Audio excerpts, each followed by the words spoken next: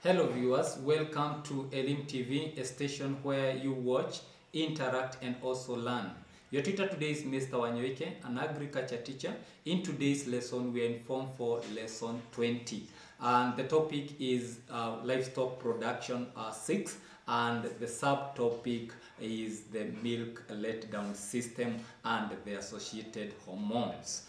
Uh, we have uh, the, the lesson objectives. By the end of this lesson, you should be able to, number one, state the roles of hormones uh, pro, uh, prolactin and hormone oxytocin. Then number two, explain the process of milk let down uh, system. Uh, to start with, I'm going to start with hormone prolactin. Uh, hormone prolactin uh, is the hormone which is uh, involved during uh, the process of uh, milk production. Uh, when the milk is being processed in the uh, mammary gland, uh, that is the hormone which comes in. It determines the process, uh, the, the way, in the manner in which the milk is being uh, processed. Then we have management factors. We have the growth hormone.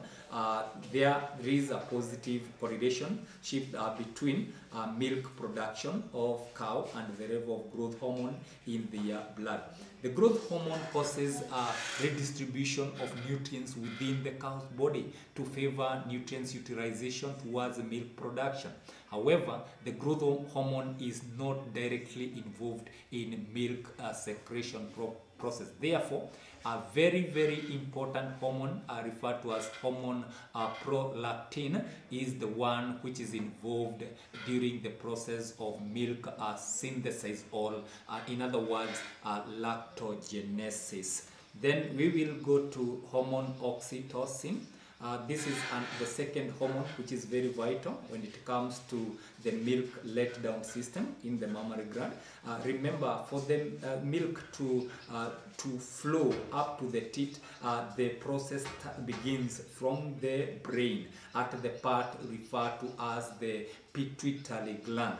At the pituitary gland, uh, it becomes stimulated, and the factors that normally stimulate uh, the pituitary gland to secrete hormone oxytocin or to release hormone oxytocin are the positive factors, are the positive environment. And the positive environment uh, implies the following. Uh, for example, the sight of the calf, uh, the, the, the, the, sound of the calf, and also uh, the whistling of the milking man. Uh, the, some of the milking men normally produce a certain uh, whistling sound, which normally soothes the, the cow to an extent of stimulating, the, triggering the pituitary gland to secrete hormone oxytocin. Uh, the purpose of uh, the function of the hormone oxytocin, uh, it brings about the contraction and relaxation of the muscles in the udder so that it can allow the milk to flow and that is the role of, of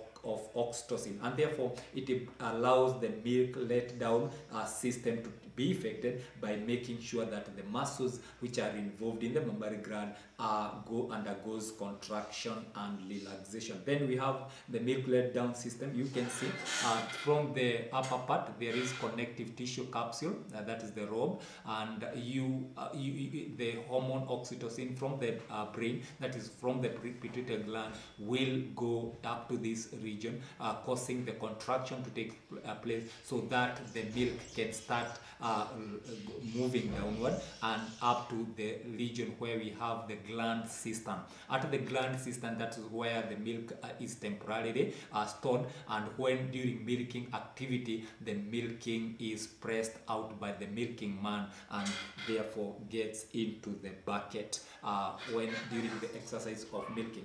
And the positive environment, as I stated earlier, uh, include uh, the sight of the calf. You can see that there is a calf which is in front of the man uh, or, or, or, the cow being milked. Then you can see in that arrow there is a hormone uh, which is released from the brain and that is oxytocin which goes to the mammary gland. And also uh, touching the uh, touching of the udder with warm uh, towel.